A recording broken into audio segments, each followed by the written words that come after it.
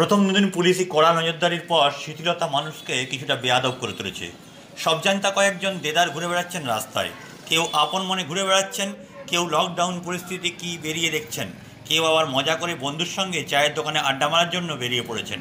Corona পরিস্থিতি যেখানে সকলকেই বাড়িতে থাকার পরামর্শ দিচ্ছেন সকলেই, সেখানেই বিপরীত চিত্র লক্ষ্য করা যাচ্ছে বাঁকুড়া জেলা জুড়ে। তবে আজ সকাল থেকেই পুলিশ কিছুটা আবার করা হয়েছে। বেশ কয়েকটি জায়গায় চাকা চেকিং করা হচ্ছে। জেলা জুড়ে যাতায়াত করা মানুষদের কী কারণে কোথায় যাচ্ছেন তা জিজ্ঞাসাবাদ করা হচ্ছে। উপযুক্ত কারণ দর্শাতে পারলেই তবে মিলছে যাওয়ার অনুমতি।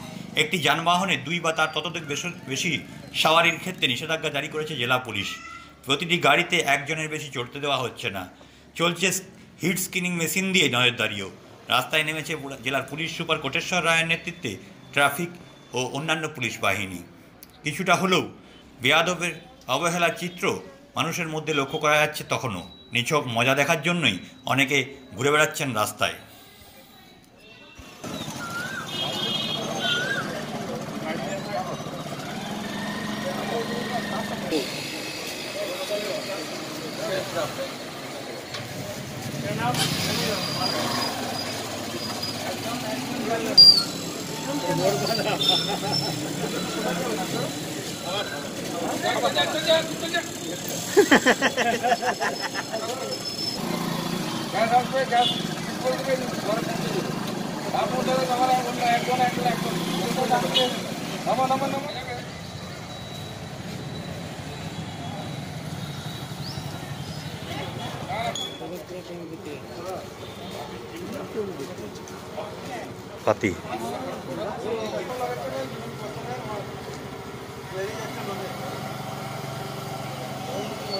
সেই তো।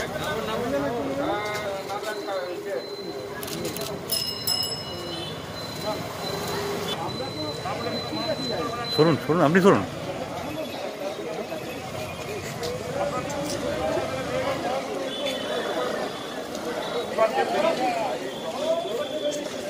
হেলমেট পরতে হবে।